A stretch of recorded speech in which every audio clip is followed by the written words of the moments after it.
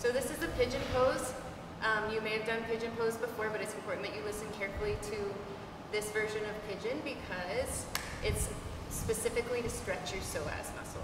So you're gonna go ahead and bring your leg up and make your shin parallel with the top of the mat. Your modification is how close this leg is, the bent leg is, to, to your hips versus to your hands. So Jen is doing the modified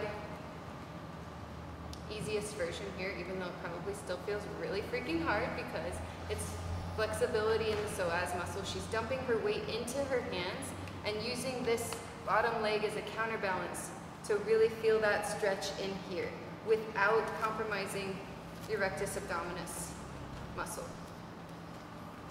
What is this now? This is further forward.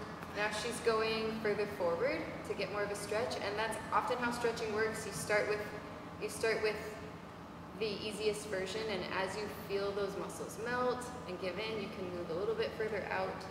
Spend some good time in this stretch because the longer that you're in it, you'll feel some of those muscle fibers release and lengthen. Okay, that's good enough. You don't want to get even? okay.